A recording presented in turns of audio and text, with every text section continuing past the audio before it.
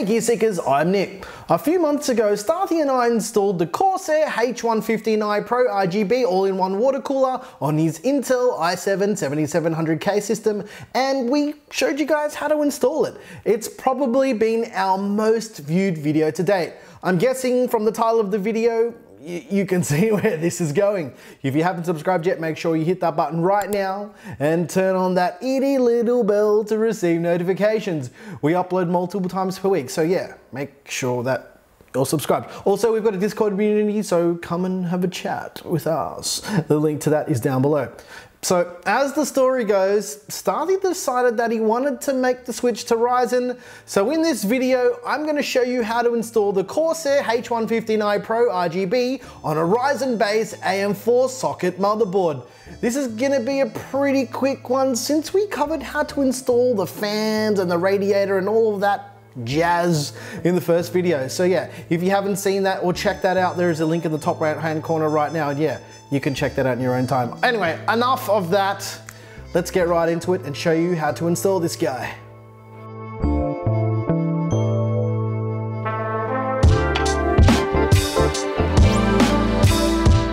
This video is brought to you by Cooler Master and the Master Keys MK750 mechanical gaming keyboard featuring a fast, modern Type-C connection, comfortable magnetic wrist rest, and on-board macro recording. The Cooler Master Master Keys MK750. Game smarter, not harder. Find out more about the keyboard in the link in the description.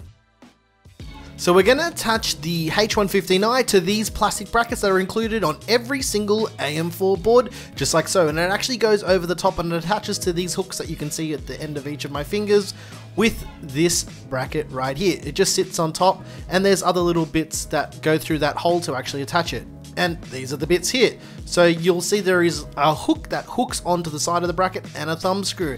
And basically the way it works is you put this through the hole and the thumb screw bolt nut thing on the other side and it actually fastens it and pulls the cooler to the board. So what we're going to do is actually attach that bracket to the cooler. It's pretty straightforward. You just put it in these four holes and rotate and it locks into place.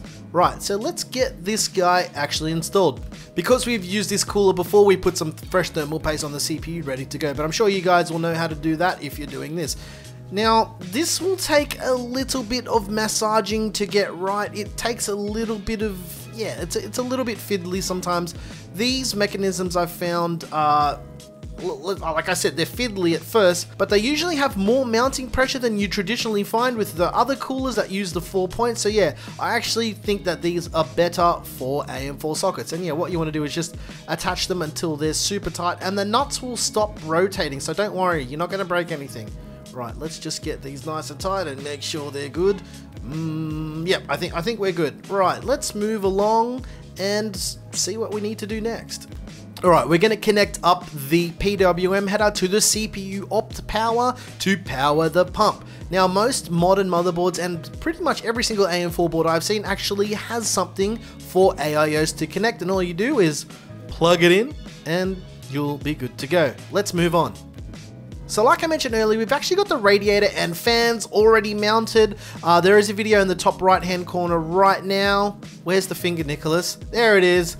And you can check that out in your time to see how we did that. Right. Now we're just going to double check so you guys can see where we actually plugged this in so it makes a little bit more sense. Yeah, right. Now we're going to move on to the SATA power. You need this to power the pump itself as well. And you're going to need these snaky little guys. Man, hold still! You guys are moving around way too much. No, come on, man. Okay. So what you're going to do is you're going to grab the SATA power and the PWM for the fan connectors and push them through the back of your case so you, we can hook them up later. And yeah, I'm just jamming them in the hole just like so. And look, guys, no hands and the cables are moving. How is that happening? Who? Ooh, whose hand is that? That is someone else's hand that I've never seen before. Yeah, oh, maybe I'm going to give him a hand. You got really nice hands. They're a bit hairier than I'm used to. Anyway, uh, we're going to connect the USB. we're going to connect the USB to do all the RGBing and the controlling. And yeah, that plugs into the side of Le Pump just like so. Pretty straightforward and you just plug that other end of that into a motherboard header for USB 2 on your motherboard. Last but not least, well, not really last, almost last, we're plugging in the fan connectors for the fans on the radiator.